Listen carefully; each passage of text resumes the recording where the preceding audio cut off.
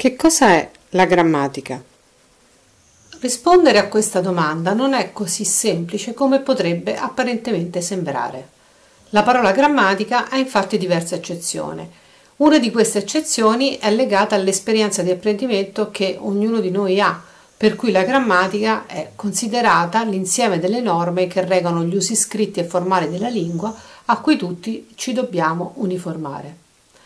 Nella prospettiva della linguistica contemporanea, la grammatica è invece considerata l'insieme delle regole che nella comunicazione interpersonale governano l'uso dei diversi sistemi in cui si articola la lingua, quindi sistema fonetico, morfologico, lessicale, sintattico e testuale.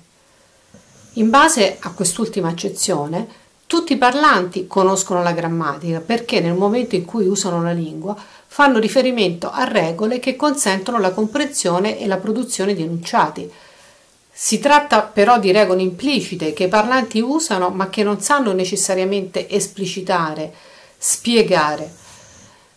La parola grammatica indica però anche il libro in cui le regole di una lingua sono descritte, cioè spiegate.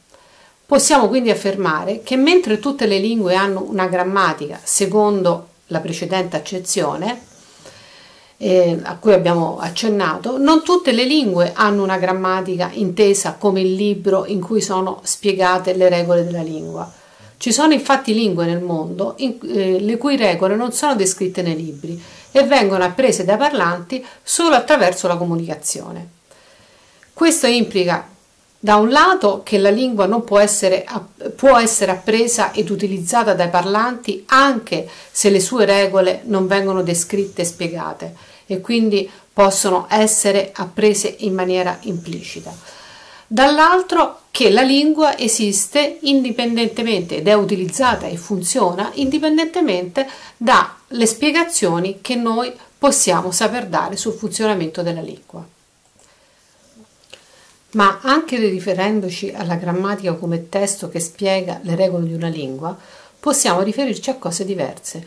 Infatti possiamo distinguere diverse tipologie di grammatica in base agli scopi che, eh, che si propongono, al pubblico a cui si rivolgono e all'oggetto che prendono in considerazione.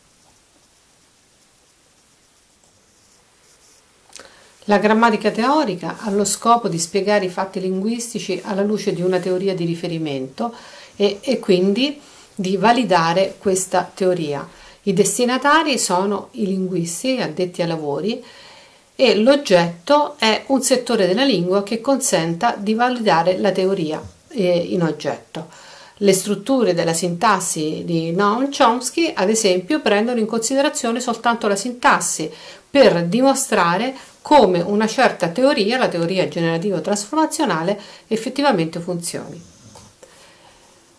Le eh, grammatiche descrittive invece hanno lo scopo di descrivere i fatti linguistici e di essere il più possibile esaustive nel fare questo nel descrivere questi fatti. Si rivolgono a linguisti addetti ai lavori che comprendono anche eh, docenti di, eh, della L1 o della L2 e come oggetto hanno tutti i fatti della lingua perché il loro scopo è descriverne appunto il funzionamento.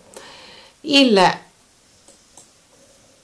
ci sono poi le grammatiche pedagogiche che hanno lo scopo invece di facilitare l'apprendimento della propria lingua o di una lingua seconda o straniera, sviluppando una conoscenza di tipo esplicita, cioè non solo la capacità di usarla, ma anche la capacità di saperla descrivere, di conoscere le regole saperle spiegare. I destinatari sono gli apprendenti di questa lingua, in questo nel caso specifico dell'italiano, come lingua materna o lingua seconda e l'oggetto di una grammatica pedagogica sono dei fatti linguistici che sono selezionati in base ai bisogni degli apprendenti e, e vengono analizzati secondo più teorie linguistiche. Quindi noi abbiamo per esempio eh, le grammatiche per la scuola primaria, per la scuola secondaria di primo grado, per la scuola secondaria di secondo grado, grammatiche per eh, gli apprendenti stranieri di livello 1, livello 2, livello B1 e così via.